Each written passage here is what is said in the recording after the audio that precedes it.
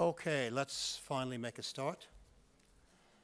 First, I'd like to acknowledge the first Australians on whose land we meet and whose cultures, which are amongst the oldest continuing cultures in human history, we celebrate.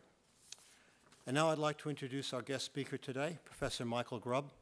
Professor Grubb is chair of the International Research Organization Climate Strategies, headquartered at Cambridge University, where he is also a senior research associate at the Faculty of Economics.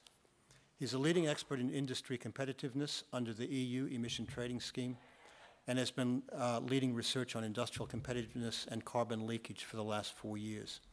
His former positions include chief economist at the Carbon Trust, professor of climate change and energy po policy at Imperial College London, and head of energy and environment at Chatham House, and he continues to be associated with these institutions. In 2008, he was appointed to the UK Climate Change Committee, established under the UK Climate Change Bill, to advise the government on future carbon budgets and to report to Parliament on their implementation. Michael Grubb is author of seven books, 50 journal research articles, and numerous other publications. It's with great pleasure that I welcome Michael Grubb to speak to us today.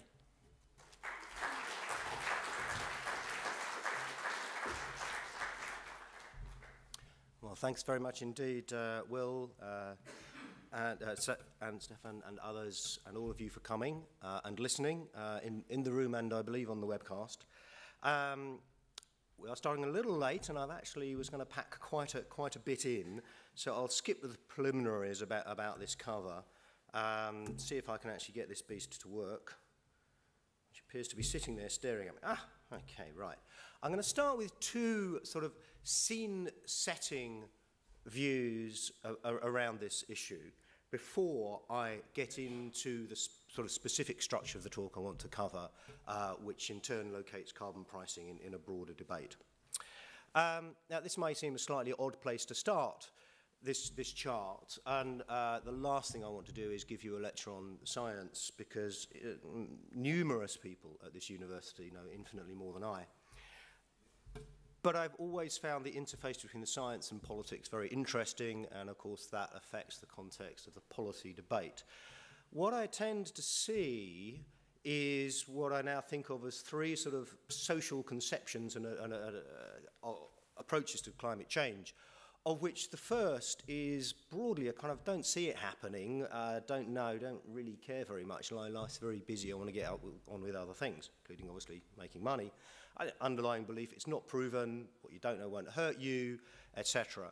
Um, I've been maybe a, a, little casual in my use of the resulting strategy, um, but I think we are at a very interesting moment because although scientists have actually been saying that for well over a decade they are able to measure and track impact of climate change, it seems to me that socially we're really only sort of now bridging the point at which climate impacts for significant people are rising above the level of natural variability. Of course, in Australia, you've had some pretty extreme events recently and sort of, I don't know exactly how that's fed into to the debate here, given all of the surrounding uh, politics and uncertainties.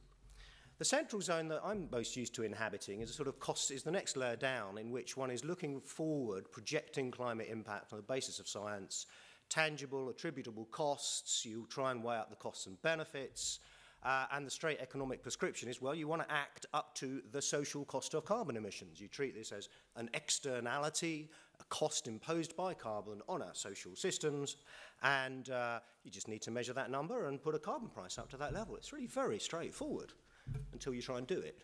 Um, the first thing is you, you have a debate as to what it is it you're measuring, where, and how do you measure it, and how do you compare, and etc., etc., etc. And uh, there's long economics debate about this, and, and I think best captured by uh, someone who did a report for the UK government and ended up concluding that the social cost of carbon with considerable confidence is probably somewhere between 10 and $1,000 per tonne of CO2 which unfortunately for policymakers was not quite what they wanted to be told. The UK has ended up with a, a carbon, shadow carbon price of 70 pounds per tonne of CO2 as its best kind of guess in the middle of this impossibly wide range. Um, but that's how economists have thought about it. What I think is interesting is uh, at the third level, there is a whole strata of society thinking about this in a totally different way, uh, which is partly the scientific community that has always seen this much more in terms of risk management, but increasingly now a security community, which is seeing that this issue has real potential for disruption of social systems, destabilize things, in which case actually economics really struggles because economics tends to be concerned with measuring costs and benefits within a stable social and legal framework. And, and as if those social frameworks start to get stressed by collapse, threats to food security, uh, forced migration, it's a very different issue. And this issue, climate change, is now something which in security circles is regularly described as a threat multiplier. There are many stresses, many threats to security, and this is going to make a lot of them a lot worse. The real policy challenge is that there's perhaps a generational time gap between each of those steps. And so policy is trying to look ahead, grapple with these things. Um, and at, at, a time when society is sort of still saying, well, I, I don't see it on my doorstep. Um, with the possible exception of uh, you know, Australia and, and other places that have suffered uh, extreme events. Now, I gave a talk at Lowy Institute yesterday. Uh, I'm not going to repeat that. This is a sort of one-line, uh, one-page summary of, in a sense, the key things that I was arguing, that we're approaching the, or I think we have just reached the end of what I've called, in, in a book I'm trying to write, the age of innocence, about the sheer scale of this challenge, and indeed many other things in the kind of world we've got used to over the last quarter century. Um, in the context of climate change, one of the key beliefs was the challenge was a classic economic collective action problem where we had to negotiate a deal about sharing the costs of cutting emissions. And that was the fundamental challenge. And then you just did that, and you agreed a burden sharing formula and agreed who was doing how much. This is actually a far more interesting problem. It is about decisions on policy, investment, risks, and returns, in which I think it's increasingly clear that politics has much bigger role to play than economics uh, in determining what countries do and don't do, say, etc. Uh, another belief of the age, action would be led by the industrialized world with others following. Makes sense, seems the moral position, good logic, the entire framework has been built around that assumption. That approach is dead. The US federal government is not going to act on climate change in, in, in a substantial way for a very long time, and we better get used to it and adjust to that reality. What we actually have is a very fragmented world in which the emerging economies are moving, frankly, faster than I can keep up with in terms of what they're doing on climate change. Um, and we'll come back to that briefly. Then there are three policy beliefs, each of which I will say briefly about, but I'll focus most on carbon pricing. Those three policy beliefs were that energy efficiency is really, it's an, it's an easy free lunch. You know, improve energy efficiency, all the technologists, engineers say, really good returns. I think the evidence is that it is energy efficiency really is very good for the economy, but it's not easy. It's actually really quite tricky and sophisticated to work out why are people so wasteful and what sensibly can one do about that. We then have carbon pricing, where the idea was, well, we, it just internalizes the external cost of carbon, and that drives low carbon investment and, and job done. Why would you need anything else? Actually, I think we've learned that carbon pricing is much more complex in terms of its role within the challenge. And the final, and to some extent, the opposing belief was that technology will save us. Um, and, uh, well, technology is really crucial, but one thing we've learned is that innovation broadly is a result of good policy. It's quite hard to force effectively or efficiently by governments. It's quite slow to emerge, and it's a very complicated process in itself. Um, so, that's all right, we can finish. You can go home now. Those are the main points I wanted to make. Um, if you're not too bored, I'd invite you to stay for the rest because I now want to sort of actually really start building up the picture that leads to some of those conclusions and zeroing in on the role of carbon pricing. And I will do so in terms of the, the, the points laid out here, um, and which the first, and again, some of this is attempt to very briefly give you a context for the carbon pricing issue. So in this technical part of the talk, let me start by just laying a few facts about how the world has developed over the last couple of decades in terms of per capita emissions in different regions, which is the vertical axis. The squiggly lines are how various countries have developed uh, over time. The horizontal axis is how their economies have grown in GDP terms. the interesting thing about this chart, in my view, is that given a standard set of economic assumptions about equilibrium, costs, and growth, you would expect the industrialized world to be converging. There is absolutely no evidence of convergence, in fact, the opposite. By and large, the industrialized world clumps into two groups. You have the US uh, leading, the principal one with emissions at about 20 uh, tons of CO2 per person, and it's been really pretty stable at that level for well over a decade. And you have all the European countries and Japan and the likes of that that have broadly been, again, relatively stable at around 10 tons of CO2 per capita. Absolutely no sign of convergence. Uh, Australia has clearly been making good progress to join the US camp, but apart from that, most of the others have been pretty stable in per capita emissions. You have the developing countries uh, racing rapidly, but so far they've not broached that sort of 10 tons per capita ceiling. Um, Korea would be a very interesting study now in terms of how its economy has motored well into the range of industrialized countries. It's still around that level. There is a subtext in here about trade, carbon trade, production, consumption. Uh, the data that I've got suggests that the, the, the EU uh, trade effects account for about 20-ish percent of the difference, but no way explains. So on a consumption basis, Europe is probably consuming about 12 tons of CO2 per capita, but it's still a very big gap from, from the sort of 20 uh, in, in US and Australia. And the US is also a bigger net consumer than it is producer. Australia, fractionally the other way around. Um, but point, it's quite interesting. UK and Australia have actually had very similar economic growth per capita over this period, radically different emission trends. Lots of reasons, obviously resource dependency uh, in, in, the US, in Australia. Those, those trends and those divergences are also reflected in carbon productivity, broad, crude measure of, of energy efficiency in the economy. Uh, the, the world as a whole has been getting more efficient in its use of carbon per, per unit of economic output.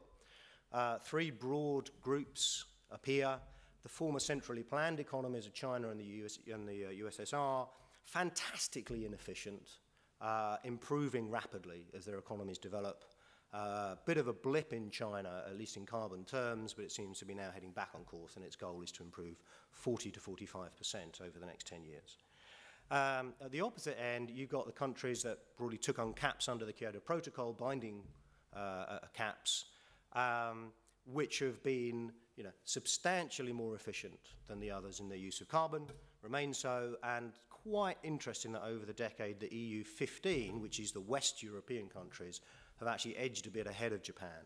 Um, you can see the track of the, the dotted lines, the new member states of the EU, the former East European countries, very rapid improvement as they started to integrate economies along market lines. Um, India is a very interesting story, going slightly up and now starting to come down again. My guess is that India will be migrating towards the lower group uh, fairly quickly over the next decade or two. Um, much less clear in terms of US, Australia.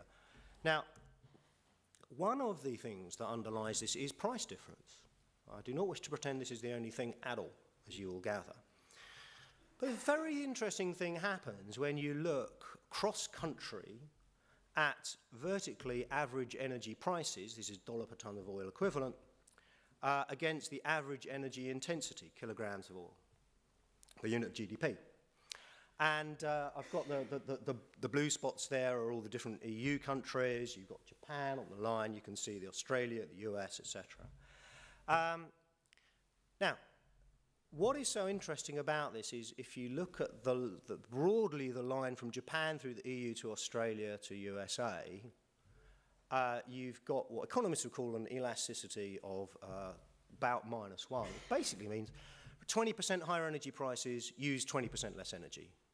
An interesting statistic, because when you multiply the two, what you find out is the amount of money that countries spend on energy per person is basically invariant according to price. Higher prices, lower consumption, the amount that people spend on energy is, is constant, irrespective of their energy price. Um, now, in fact, overall, this chart has a bigger number than minus one. but That's slightly distorted by the East European countries. Um, so I didn't want to pay too much emphasis on that or claim that higher energy prices would result in cheaper bills. There's a lot of evidence higher energy prices do not, in the long run, increase the overall bill. But there are important caveats around that because when economists try and measure the same number within a country, they say, oh, it's about nine, minus 0.2 or something. You only get a 20, you know, 2% reduction for a 10% increase in energy prices. What's going on here? Partly time, takes time for prices to work through. And I think the evidence is it is also that price has many impacts in an economy, not just on the immediate behavior of people who say, oh dear, I'm facing a higher price, I'm going to change the way I uh, run my car or turn my thermostat. It has structural implications for the choices people make. Um, it has a societal implication that, hey, actually, energy is a little bit more sort of valuable than we thought, and we'd like governments to be doing stronger building standards, high-speed trains instead of superhighways because it's more expensive to drive. Lots of structural and infrastructural effects, and also the behavioural effects that just, well, you know, you're more conscious of energy, so you think a bit more about it when you do things. But nevertheless, I think the, the, the fact of this diagram, the data here, is very important. And economically, the gap between elasticity measured internationally compared within a country is very important to understand for what's driving it and what it says about the role of prices and non-price policies that may be associated with a societal recognition that energy is not, not free and infinite. Now, that data that I showed showed uh, that there was no convergence in industrialized countries. If anything, slight hints of the opposite. And I want to put a hypothesis on the table here, which is that we are beginning to see the emergence of a fundamental structural division in the world's energy systems. I'm not going to explain the diagram at the top here. One or two of the more techie energy systems, people might recognize that it comes from a 10-year-old paper by the International Institute of Applied Systems Analysis, which I think was one of the best pieces of, of energy research of the uh, past decade, and also a superb illustration of how lousy academics are at communicating what it is they're actually saying, because nobody actually understands the diagram.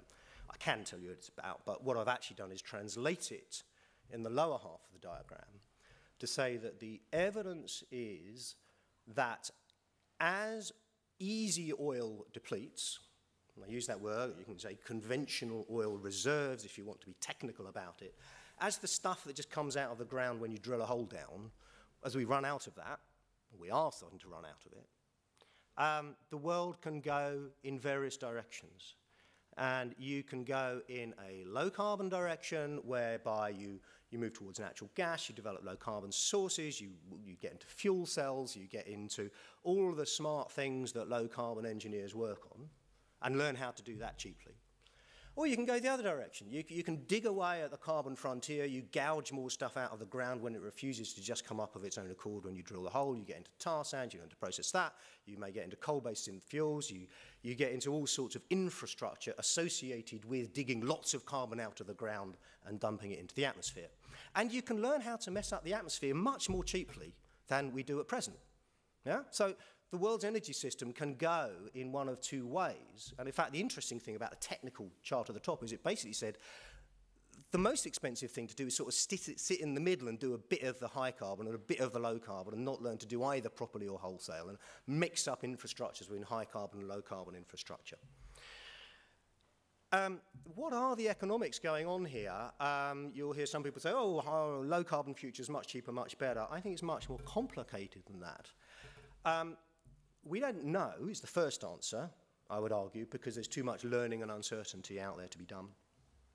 What I think we can almost certainly say is that low carbon futures are more capital intensive and less fuel dependent. Uh, and the reverse of high carbon futures. Cheaper to build, but you then face all sorts of issues around fuel prices, instability in the oil markets, and et cetera, et cetera. And so it's a political choice defined partly by how far ahead is your society going to look and how do you value capital? And do you use a 15% discount rate or a 5% discount rate when you're looking at these kind of choices? I think, a hypothesis, the data that I showed you will be viewed by history as the first identifiable moment of this bifurcation in energy systems, in which Europe uh, and a number of other countries are really determined to push their societies down the low carbon road in the face of high oil prices, and certain others will go in the default trajectory that we've got carbon intensive industries, and they, they want to and wait, make their money by digging further along the high carbon frontier. Just to start moving on from that conceptual to the framework of emerging international action, uh, and I'll wrap in some stuff about the UK strategy. This is going to be embarrassingly brief, but I just want to give you a flavour of how much the world is changing. Who is acting? Who's doing stuff? EU, I'll come back to. California, um, you may know that at the same time as, as the uh, congressional votes, uh, Proposition 23, I think it was, in California to roll back their emissions cap and trade got comprehensively rejected by the electorate. California is going ahead with a cap and trade scheme. Brazil is acting strongly, uh, is really moving to be you know, the leading emerging economy in the low carbon business. Uh, then you see a host of Asian uh, developments. Korea has the most green of any of the stimulus packages after the financial crisis. Uh, I was talking to someone yesterday emphasizing the steel industry in Korea appears to have a totally different view of both the technological possibilities and the need to start decarbonising the steel sector as part of the national effort. India is clearly, I think, whatever its diplomats say, that they have no responsibility for this problem, on the ground they are doing stuff very fast, partly because they're terrified of oil dependence and they've discovered their coal reserves aren't what, uh, what they were thought to be. Um, that includes a trading scheme for the heavy energy sectors and power. China is a very complicated. Uh, you probably hear a lot more than we'd have time in numerous lectures. Um, but it has got low carbon development zones with populations, frankly, that are probably similar to Australia when you add them up. Um, and its five-year plan clearly identifies green low carbon technology as a core part of Chinese industrial strategy. Uh, energy and carbon pricing is an essential part of what's happened in Europe, is going. Uh, we see the core role of renewables. Sao Paulo, incidentally, in Brazil, has a carbon cap for the state of Sao Paulo with a population of 30 million people. Um, and so there are all sorts of stuff emerging in Asia. Lots of stuff going on in piloting, planning, ETS. Um, don't have time to go into that, but it's just really interesting. Frankly, that world is moving too fast for me to keep up properly. A little bit about the UK view on this. Uh, and for those wanting more depth, there's a PowerPoint that I, I gave yesterday at the Other Talk in Sydney. Broadly, let me just cut to the chase on this, which is the UK Climate Change Act of two, two years ago, huge bipartisan support in Parliament, something like 500 for, 50 against was the rough ratio um, includes a legal commitment for the UK to cut emissions by 80% by mid-century. That's written into primary legislation, it'd be almost impossible to undo. And the Climate Change Act sets up a rolling programme and structure for the which requires the government to announce carbon budgets five years ahead on the trajectory towards that, that requirement. Um, and then the Climate Change Committee's job is to, to analyse that, analyse the strategy and monitor the UK's progress towards that goal. And one of the things that we did on the Climate Change Committee was look carefully at the economics of the trajectory and say, well, you know, at best, most people draw a straight line. You draw a straight line between now and 2050, you start off at 2 or 3% a year reductions. In the last decade, you're looking at 7 or 8% a year reductions. Just do the maths. It is almost certainly better econo economics to try and get closer to an exponential, constant 3 4% a year emission reductions. Um, otherwise, you just backload horrible costs when things get tougher. I think I don't have time to go into the details of the scenarios. Just like a second to sort of cast your eye. This is an indication of the sectoral breakdown, the look at what different sectors could contribute, etc. And I did want to stress a central role for decarbonisation of the power sector. On the left-hand side, you have the emissions intensity per kilowatt hour mapped out in the UK strategy. Huge reduction between now and 2030. On the right-hand side, you have electricity consumption, which, given the scope for strong policies on electricity efficiency, may be held roughly constant for a couple of decades. But the architecture behind this is then electricity is rolled out into transport and potentially heating as well, which seems to be the best strategy for getting down to really deep reductions. You can't go there unless you first decarbonise the power sector, hence a, a deep focus on decarbonising the power sector, which will bring me to carbon pricing, but it needs to be understood in a slightly broader policy context, which is what I now want to lay out. I think it is useful at this point to return to this concept that there are different timescales we're operating on. I touched on it from a climate impact standpoint. Now I want to touch on it from an economics response standpoint. We have a kind of short-term world around particularly energy efficiency stuff that looks like we should be able to do it pretty quickly, get it in place, very cost-effective. Associated with that, actually, you're generally dealing with non-optimal behavior by consumers or non-optimal markets and market failures, barrier busting, I'll wrap that under a concept of behavioural economics. Over the timescale of years to decades, what you're really looking to do is substitute low carbon investments for high carbon investments. Um, and that is, that's the realm economics deals with very easily. You, you change relative prices, people will use relative different input factors. Very straightforward. You know exactly what you're doing, where the optimums lie, how much it would cost, etc. But in the long term of several decades, We've got another whole basket of things that need attention. What kind of infrastructure are we building? What kind of innovation do we have? I'll be talking in a smaller seminar about the economic underpinnings of this, but one thing I'll just say verbally before I show data tomorrow is the energy sector, along with buildings, is amongst the least innovative sectors in our economy. The, the research and development spend in pharmaceuticals relative to turnover is about 20 percent. In IT, it's, it's above 10%. In energy, it's below 1%. We, we are seeking radical innovation in some of the least innovative sectors in our economy. That is a serious challenge. Simply sticking a carbon price on is not going to solve that challenge. Um, the analytic zone that you are now in, if you're looking over decades, infrastructure and innovation, is not a nice equilibrium carbon price defined world. It's a world where, frankly, the best analysis we've got is around evolutionary economics. How do systems evolve? What is the path dependence? What is the lock-in created by earlier decisions on infrastructure? What is the politics created by the incumbent industries that will determine what politically can and cannot be done in the short term? Um, and this, I say, I'll delve in more detail in a small meeting tomorrow, but there's multiple three-layered economics underpins a basic contention that building a low-carbon economy is not necessarily more expensive, it's just different. Countries have policy and political choices to make about how their systems evolve. Which brings me to the policy instruments framework that here, um, I've, I've put those three levels, sorry, I think I've flipped the chart upside, you know, uh, the, the order's reversed top to down. But um, mapping against that, we have three types of policy instruments. We have public-led investments, which I don't see any alternative for public-led investments in relation to infrastructure and innovation in particular. That's the major determinant of where and how those kind of choices get made. In the middle one, the central pillar, these are the three pillars of policy, you have carbon pricing, which is the fundamental instrument that drives uh, substitution of low, low carbon investments for, for high ones. But it has an impact on innovation and in, uh, incentives, and it has an impact on energy efficiency.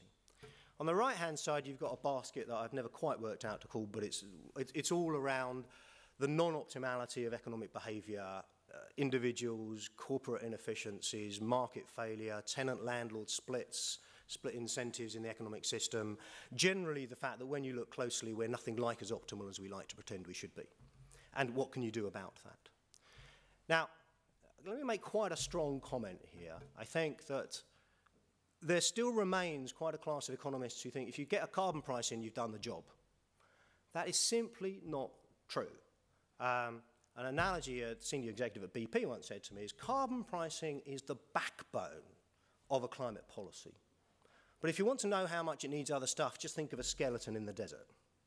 Right? If you don't have those other stuff that provide the infrastructural context and the technologies which allow people to substitute high for low carbon options, if you allow people to just, you know, the, the structures don't line up the incentives properly, carbon prices like, you know, it just, just doesn't cut, cut the mustard, if you know the old English expression. On the other hand, it has to be said that you know, there may, may be economists who've been rather too simplistic that carbon price needs to be flanked by what I believe in Australia is called complementary instruments. I would rather prefer it that there is a triad of instruments. If you don't have that triad, sooner or later your whole policy system falls over. There also appear to be in Australia some people who think that carbon pricing is irrelevant, and all I can say is they're not just limited in economics, they appear not to know any economics. I mean, you, you cannot solve this problem without a carbon price. In the long run, we, if we've got market economies, people have to know carbon is going to get more expensive. It's just that it is necessary but not sufficient. What I think is very interesting uh, is to dig a little bit more deeply in this policy triad. I've used a sort of real shorthand here the, for the, you know, the long, long to, uh, to short-term issues and the three policy pillars running across. Because what you really realize is carbon pricing is at the center of this network in various ways. Um, in uh, it does, cap and trade scheme will reveal a lot about the actual costs of cutting carbon. And frankly, you never know until you try and you find out. I mean, the European trading scheme has consistently ended up with lower carbon prices than anyone projected, given the caps.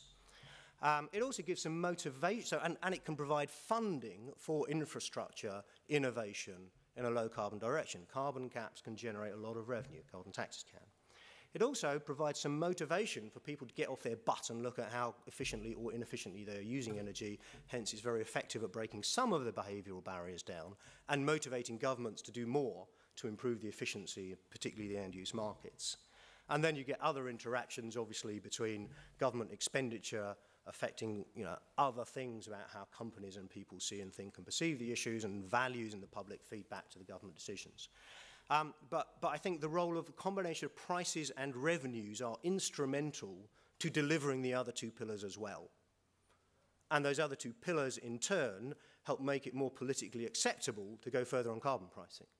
If you think back to that chart I showed on prices versus intensity, it's not just that some regions have higher, carbon, higher prices, it's actually because they are more efficient, it is more politically manageable to have higher prices as well. So there's a deep interaction between efficiency and, and pricing. As I said, it comes back to the data on that chart that actually countries with 20, 30% higher energy prices don't end up spending any more on energy. They just get 20, 30% more efficient. So to then move towards uh, sort of the more political end of, so what have we actually learnt from attempts to do carbon pricing?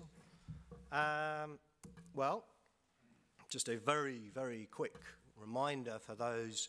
Uh, I mean, I know that I think Jill Duggan and some other people have been in Australia talking about the European experience. So I won't repeat on that. For those interested, incidentally, that's probably not relevant unless if you happen to be in Sydney on Friday, we're launching a report on 10 insights from the European Trading Scheme um, with the university, uh, UNSW. Um, this shows the outline structure. Uh, the European trading scheme puts a cap on power and heavy industry in the European Union. Uh, that means it caps about 40, bit over 40% of overall European emissions. Does not cap total European emissions. They're capped under the Kyoto Protocol. Um, that's the 2005 number I've shown in the middle there. Uh, incidentally, a study by, the, by MIT estimates that the EU ETS cut emissions by 50 to 100 million tonnes of CO2 in its first year. That is a big hit relative to an enormous ensemble of other policies. Uh, it's difficult to disentangle because there was overallocation too much. And so hindsight, you're saying, well, how much is overallocation? How much was real abatement? You have to go into a lot of detail to disentangle the two. Going forward to 2020, uh, Europe is currently on the, the, the higher of those two bars, which is a commitment to cut European emissions by 20%. This illustrates the division between ETS sectors and others, the CAT sectors and the non-CAT. Um, Europe also has potentially on the table an offer to move to 30%, somewhat contingent upon what other countries do. European Union, if, if I'd say there was one stroke of genius in the European trading scheme, it was to acknowledge that it's bound to start off badly and therefore design it in phases so that you can improve over time and learn. And I think the social science studies of this issue, climate issue, say, look, this is so complicated. The single most important thing is to acknowledge the complexity of it and therefore to design systems which can develop over time. Um, I think one problem the US legislation did is it tried to fix everything for the next 50 years because the Democrats were so terrified of the Republicans getting into power. And that just made it too ambitious to be palatable. Um, so Europe started with a three-year phase one, which has a slightly embarrassing history that I'm happy to take questions on if you, if you want. But basically, there were shed loads of free allowances thrown at everybody. Um, phase two got rather better. The next five years, you can see there, um, we got to grips a little bit with the fact that we were giving too many free allowances to the power sector in particular that seemed to be making windfall profits that I'll touch on. Um, frankly, others got uh, everything they asked for to pretty close. All this was done by the individual member states. And here's where I start to move from politics to economics. The European Trading Scheme is a scheme that spans 27 sovereign states. That's quite something to get a common carbon price across 27 sovereign states. The fundamental political origins of it were that the EU had begun to get really quite serious about wanting to do stuff on climate change. Um, and there were a couple of problems. Various different member states were doing different things in different ways, and industry was starting to say, look, this is, this is messy. We're supposed to be a free trade zone. We don't want to deal with all these different jurisdictions doing different things. And then Europe was in the midst of talking about, well, how much we do. I mean, state sovereignty is really important. When President Bush announced that the Kyoto Protocol was rejected, it was dead, and anyway, the stupid Europeans were all talk and no action and weren't actually doing anything serious at all. Which is a great incentive for European heads of state to say, what, what, no, no, we're serious, honest, we're serious. We're do, what are we going to do? I'm caricaturing a little here, but the solution was if Europe needs to show the world it's serious, it needs to cap these emissions. And if European industry is getting worried about the proliferation of messy bits and pieces, you need a central European system. And so some very fast work, footwork by some very able uh, economists uh, in, in the European Commission said, okay, here's the solution. We'll have a harmonized EU-wide trading scheme that keeps industry happy in terms of the market. But to keep the governments happy, each government can decide how many allowances they give out and who they give them to. Because that's money, and sovereign states don't like to give up money. Well, six years later, the story was very different. Sovereign states had given out lots of money, lots of free allowances, had a horrible, messy political battle over whether it was consistent with the Kyoto Protocol, the European Commission ruled that it wasn't. The European Commission imposed rules to cut back national allocations, with member states having spent years negotiating with their industries, all the fine print. And by 2007 to 8, the fascinating transformation is the 27 member states of the European Union said, God, these national allocation plans are a complete nightmare. Please, European Commission, will you take these powers? We do not want to have to deal with another bloody round of national allocation plans. And so Europe has ended up with a centralized system not only in the market, but in terms of how the allowances are given out.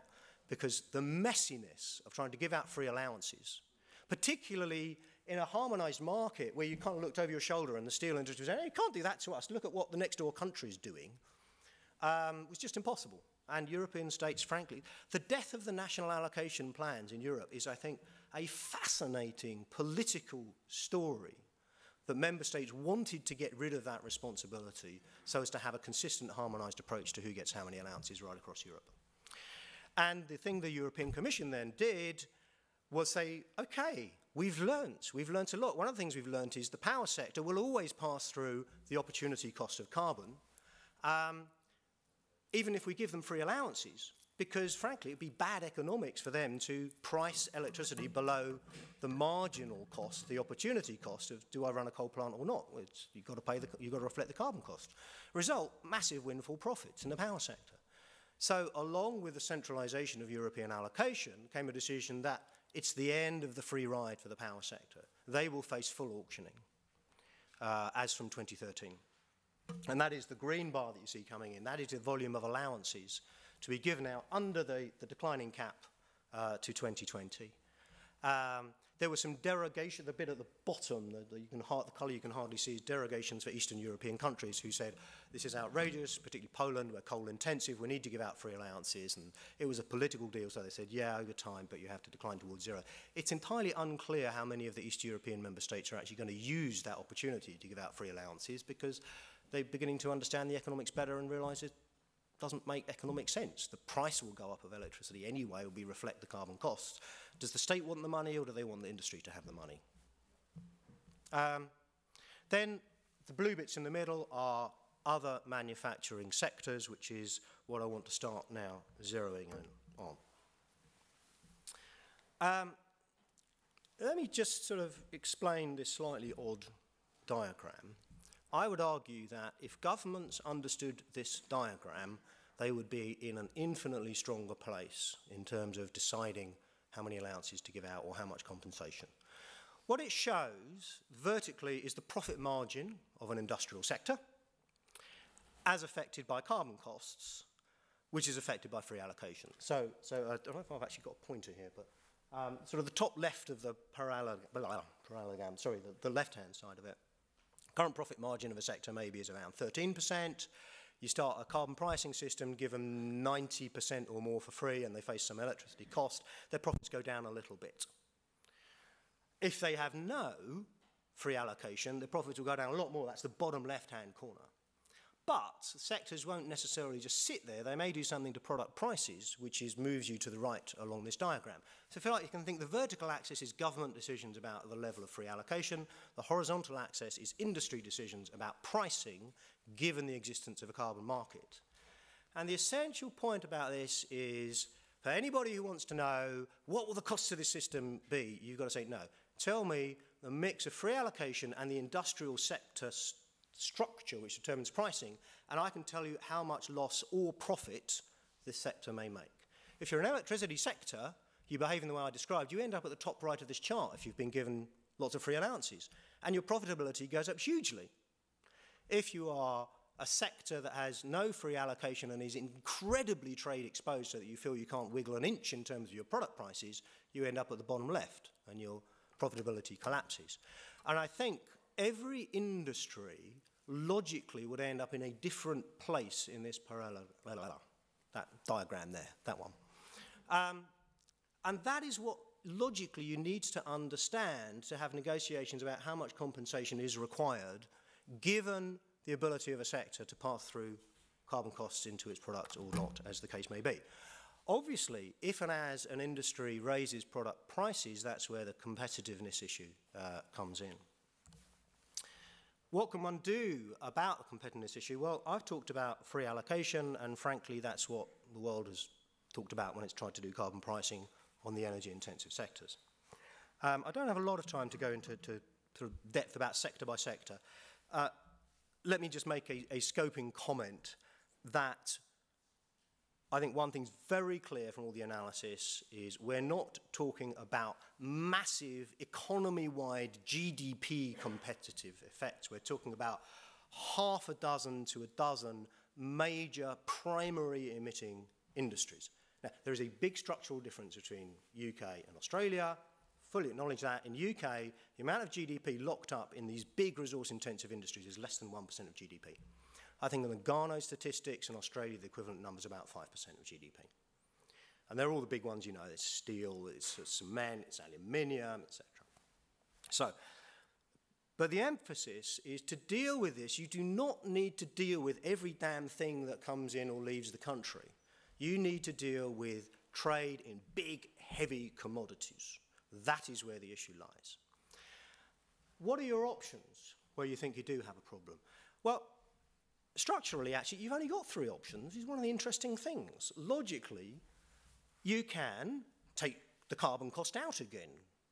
You say, well, we've created this carbon pricing system, but oh dear, it will have this competitive leakage problem, and uh, therefore I want to do something to take the carbon cost out again. Technically speaking, that would be conditional free allocation, conditional in proportion to if you produce more, you get more free allowances, etc., etc. Uh, the middle one is, I don't know, we've got a much better solution, which is we've just got to get the whole world to put the same carbon price on all of its traded products at the same time, in the same way, at the same time. When? And you, you end up concluding that we'll never get there if everybody waits for everybody else to act at the same time. Even on a sector basis, let alone all economy, the idea that you can get 200 countries to agree to impose a carbon cost on all their steel production at the same time, the same level, same, etc., etc., it's fantasy. You know, I mean, we've, we've had a long period of talk about sectoral agreements. The one underlying conclusion is they may do lots of interesting things, but they're not going to price carbon. So the middle one is, is, I think, a false option, or rather, it's an objective which we would like to end up at after a decade or two or three of journeying of countries doing some more sensible and plausible things, of which the other and the only third option that we have is you do something at the border, which means that when stuff is in the country, it's all facing a carbon price at the point of consumption, or when it's exported, you give the carbon cost back that was paid on production upon export. So you maintain a proper carbon pricing for all consumption in a region and you take out the carbon cost upon export. That's border adjustments. Um, and frankly, it is the logical economic thing to do. Um, and I'd put it a bit more strongly than that. We're in a world in which we're looking at different countries moving at different speeds and potential building of a co coalition of countries doing carbon pricing to really move their economies in a low carbon direction. If a coalition of low carbon economies is expected to price its own producers and not price importers, that is not politically or economically sustainable. Sooner or alternatively, if they're expected to exempt everything that can threaten to move, you cannot build a low carbon economy. Sooner or later, the world has to get to grips with this border related carbon issue. So, against that backdrop, I'm going to canter through some myths and realities and then I'll close for questions. Um, sorry that it starts at number three, it was drawn from another presentation. Just to be clear about these, these, these two categories of options. Levelling down the cost with free allocation. First, let's be clear, it's a myth that free allocation is free. It is not. It's actually quite expensive. Um, a couple of reasons. Uh, for, oh, sorry, that's the second one. Free allocation isn't effective. It can be, but the problem is your free allocation may not actually align with the thing you're trying to fix. The easiest example is in cement. For various reasons, in the EU ETS, we're probably at, ri at risk of giving out eight years of free allowances to the cement industry, and the ones internally protected by transport costs will say, gee, thanks, we're like electricity, we're protected from trade, we'll do marginal cost pricing, and we'll make lots of windfall profits and be very, very happy. And if they're near a port, they'll say, wow, these free allowances, do you know what? It goes above 20 euros a tonne. It's more valuable to sell carbon allowances than to sell cement. We'll flog the allowances, close down our plant, and import cement instead.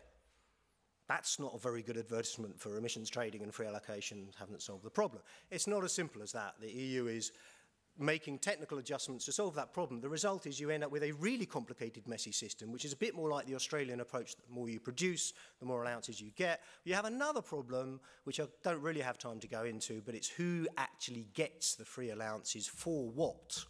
And you dig into how cement is made, and it goes through clinker that then gets mixed into cement and goes out for use.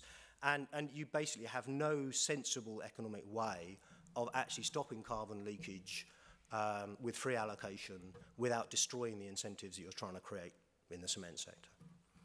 Um, it's a bit different for some of the other sectors, fortunately. And one of the emphasis out of our work is you need different solutions for each sector. You need to tailor it if you want a good approach to these half dozen key sectors. Uh, the other myth around free allocation, as I said, is, is the idea that it's free. It's not.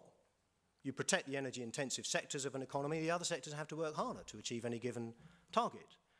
And as I indicated or hinted in cement, it actually is inevitably starts to undermine the incentive to decarbonize. And some of these sectors, whatever you hear from some of the industries, have a lot of potential to reduce their emissions, either in the manufacturing process or in the multiple stages, as in cement of the process, or downstream where if you give free allowances, you may lose any, any price signal to consumers that this one thing is much more carbon intensive than the other.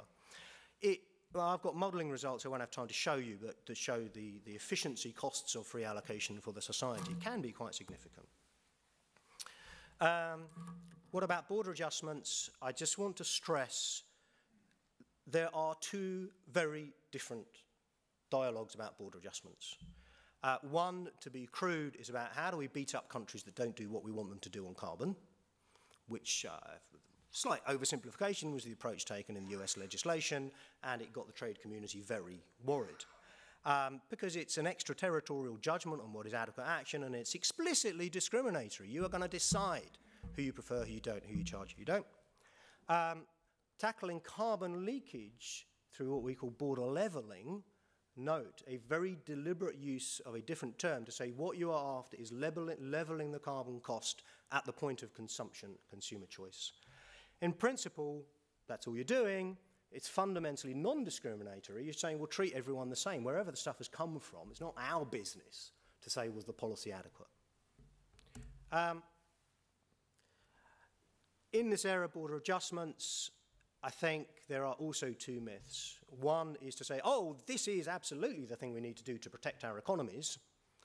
I've got various points there about why that is quite a dangerous approach to take uh, in general. On the other hand, the other myth is that all border adjustments are discriminatory, they threaten trade relations, they'll bring down the world trading system. It's rubbish. I'm sorry, but it's complete rubbish. We already do border adjustments. We value-added taxation, which 130 countries around the world use, is a system of border adjustments. You adjust the tax at the border, you reimburse on export. Petroleum excise taxes. Does anybody seriously expect the European Union or Japan or other countries that have high excise taxes on petroleum to say, oh, that's only for our domestic producers. Anyone that wants to bring in petroleum from the outside can do so for free? Of course not. We have border adjustments on petroleum. The logical thing to do in cement is simply to do the same thing in cement. You just say it has arrived at the border, it looks like cement, it feels like cement, tastes like cement if you really want to lick it. And you say it must have emitted at least 0.7 tonnes of carbon per tonne of cement, and that's how much you've got to buy at the border. Very simple. WTO has no problem with it. And I've talked with WTO lawyers, and they say, goodness sake, I wish people would understand the WTO is a structure for defining what are acceptable and reasonable border adjustments. It is not a structure for banning them. And we need much more sophistication in this debate about what can you and can't you do with respect to trade law uh, in sensible ways in relation to carbon. It is quite a complicated story, uh, and I don't have time to cover it in depth, but I do think it's essential because I think if I, uh, that's the techie number about efficiency, impacts, etc. What it does show, incidentally, is border levelling is substantially more effective and more efficient than free allocation in terms of tackling carbon leakage and preserving incentives. The World Economic Forum published a, a, a report uh, at Cancun, launched by the Mexican trade minister, which again tried to hammer home the fact that there are circumstances in which this is a perfectly sensible and acceptable thing to do. But you've got to really know what you're doing, you've got to be very clear about the motivations, it's got to be non discriminatory, etc. And there are some significant ambiguities. Uh, in Europe, our analysis has focused primarily on the issue of importers. In Australia, you'd want to be looking at reimbursement of carbon costs on export, which is, falls under different legal structures under WTO. Some final comments in this, just to stress in terms of numbers. On the left-hand side, you're really dealing with the dirty half dozen, if you want to call it that. The easiest place to start is with their direct emissions rather than their electricity-related emissions. Even just steel and cement together account for you know, something like 30% of all industrial emissions, and together they're four or five times global aviation emissions. Just think of the political effort that's been put into dealing with aviation emissions, in Europe at least. And it's about time we paid similar effort to deal with these sectors in appropriate and, and sensible ways. Um, I think this issue has been a sort of homegrown issue that people don't talk about too much in polite society. Uh, I think that will start to change. I think we will see increasingly an understanding that the practice of free allocation is not sustainable for the long term, maybe very sensible as a transitional measure. I think, and this is my speculation, that it is likely to give way to border charges on imports in Europe by 2020. The end of phase three, when Europe is really designing phase four of the trading scheme, I think they're going to realize you just cannot carry on giving free allowances to anything that threatens to move. It just doesn't add up as you get more ambitious in climate policy. The logical system would be for a carbon added regulatory structure. You basically check, has this paid carbon before it arrived at our shores? If so, fine. If not, Europe will collect the revenues. Thank you very much. That creates some quite incentive, quite interesting incentive properties. And I think that what follows from that, the key question is whether a low carbon coalition to which I referred and that I think is beginning to emerge is going to be purely driven by importers, because those are the easiest ones to act. As I said, it's no accident EU, California, India form the natural focus of a low carbon coalition. I think it could be quite problematic if the world really divides between carbon rules for import dependent countries and carbon rules for exporters, which is a danger of happening, because I think you would see a, a stronger and deeper and less, less well thought through and developed system of, of border adjustments as compared to if you had major producers and exporters in the low carbon coalition saying, look, we have legitimate interests here, we're doing our best to decarbonize our economies, we need international rules that actually help us rather than you know, drive, drive wedges internationally. Um, and so, you know, very much I, I hope that in its present debates, Australia will think carefully about that, will think about the world that it could be facing in terms of import and exports in a decade from now, and, and will be at the table on, on the low carbon road. And that's really where I wanted to finish. Thank you very much.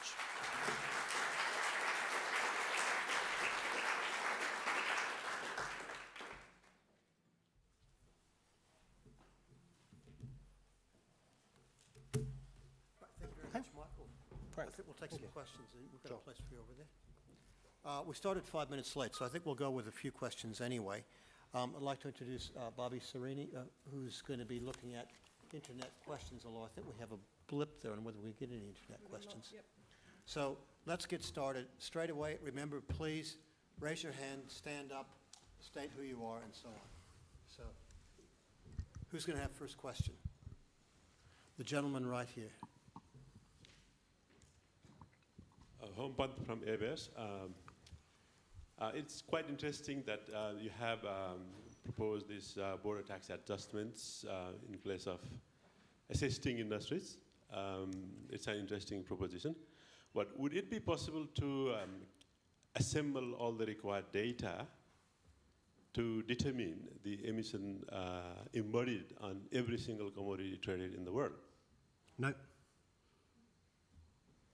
I, I can elaborate. I just wanted to be really clear that that's not what I was suggesting.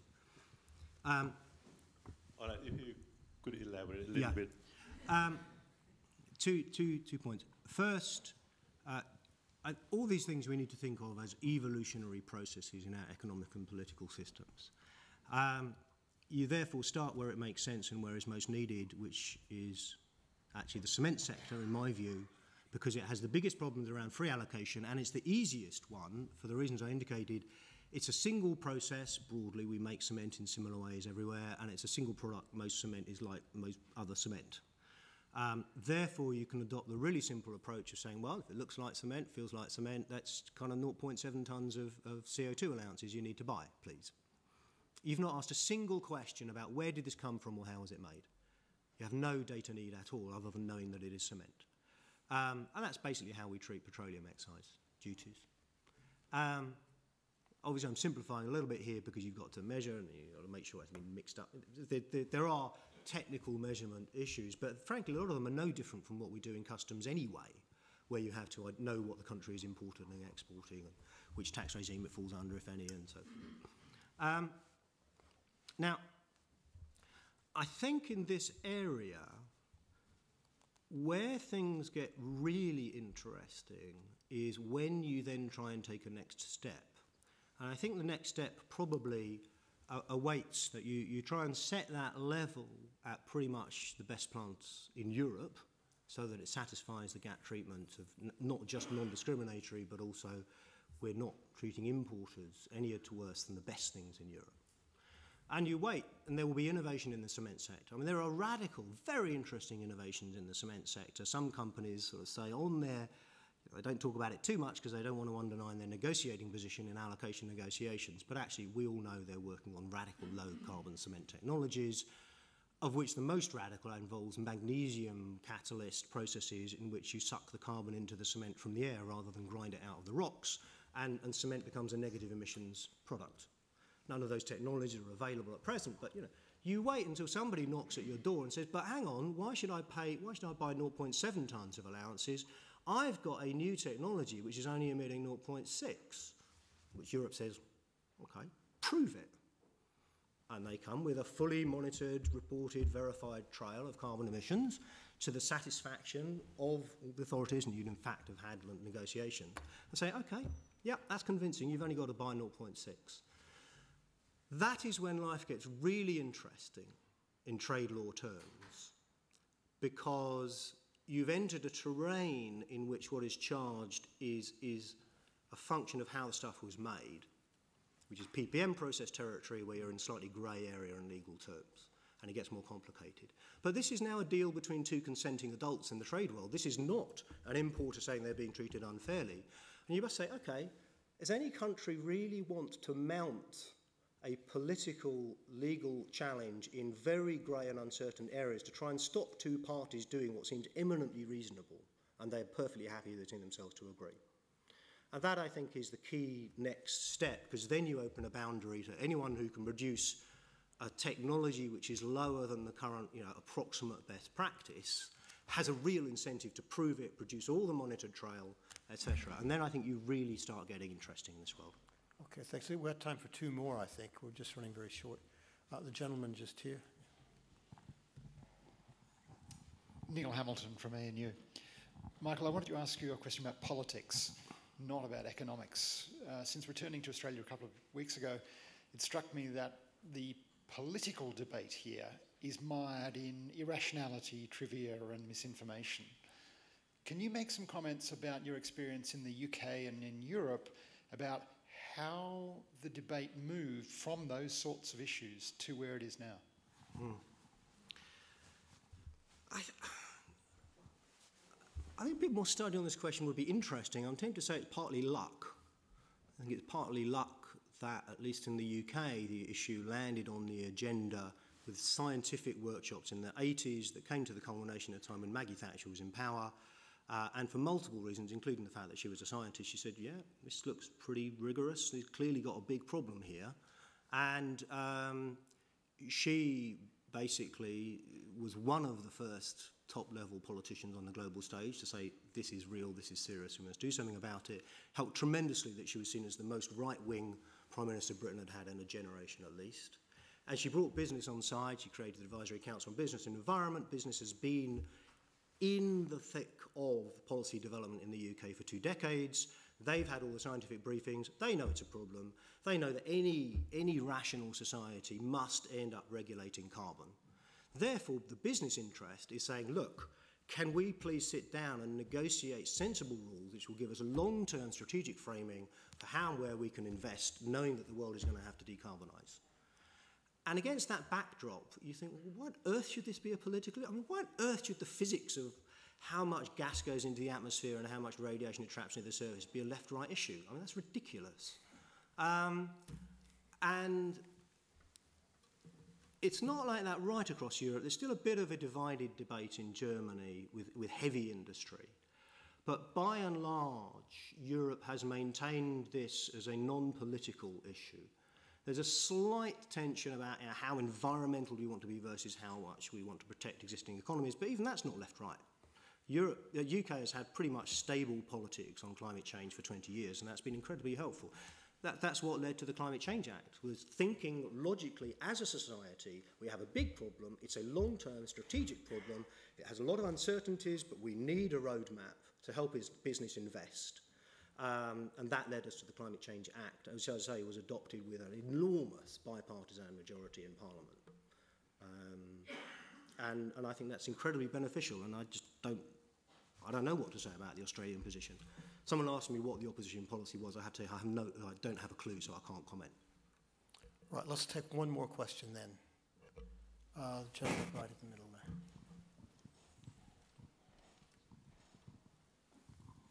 Uh, Idris Sulaiman from um, School of Computer Science at the ANU. Um, recently, uh, you mentioned that the uh, mission trace scheme has um, proceeded uh, in learning by doing. There's been uh, some reports about um, the dangers um, that hacking has uh, posed into the whole system. So that's one of my question. The other one, you identified the energy and building sectors as key sectors where innovations can take place. Now in the UK, what kind of incentives are there for sectors like the ICT or IT and telecom to take advantage uh, in order to, to make investments in those sectors? Thank you. Right. Um, I think the on the innovation side of it first, I I still think Europe is is amongst there and it's getting better, but it's not done very well at the innovation story. I mean, the fact is we're being outclassed by China on low carbon innovation, and we know it now. It's only really in the last year that that's been realised. Um, you, Europe has done pretty well in terms of some technologies, most obviously wind energy uh, though even that now rapidly being sort of uh, overtaken. Um, but I, I, I think one of the interesting links that emerging is, is there were two sorts of problems, one of which was a very sort of neoclassical industry will do its own innovation, the UK is really bad at picking winners, etc., etc., which I think has given way to a rather more sophisticated recognition that there are structural failures in terms of incentives for innovate, spillovers. And anyway, industry really needs a very deep belief the government is going to be jacking up the carbon price a lot if they're going to ensure their innovation is in a low carbon direction. So fixing the carbon price uncertainty is part of the answer to innovation. The other is you actually need to find money to spend on innovation. And that is where the link with the, with the emissions trading system comes in very strongly. Uh, so, for example, carbon capture and storage is a very expensive technology to trial. The industry won't trial it on its own the way the ECCS is now funded in Europe is through EU emission allowances. You know, politically, whatever governments say about, oh, you should separate income streams and then have a perfect logical pattern of expenditure separate, that's not reality. That's not real politics. The deal is we've moved the European trading scheme to full auctioning in the power sector. It's going to shed loads of money, which we will use to help the power sector innovate in decarbonisation. Um, on your uh, second uh, question, your other question, um, this report that we're, we're publishing, 10 Insights uh, from the EU ETS, covers some of the, the recent scandals as well as some of the, the earlier learning experiences. I mean, I, I think my view is, well, what did we expect? We're creating quite a complicated system that creates something very valuable called an allowance to emit carbon, and you are going to get criminals that try and, try and abuse it we actually had a couple of different sorts of fraud that started coming to the system. One was that despite the harmonisation that had gone on, countries were still treating EU allowances under different legal hats with respect to VAT. And, and various companies got wise to the fact they could do things, get VAT, and then disappear before anybody worked out who else next to be, needed to be charged. Um, and then you had the computer hacking. And my attitude is, well, I seem to recall occasionally reading the papers about financial fraud. We still use money. Um, it comes with the terrain. You create something valuable, you've got to get the security of the systems to match it. Uh, and that, I think, is now being addressed in Europe. Right. Well, look, thanks very much. We really have run out of time now. Thanks for your patience. And let's thank Michael again for a really stimulating and challenging lecture. Thank you very much.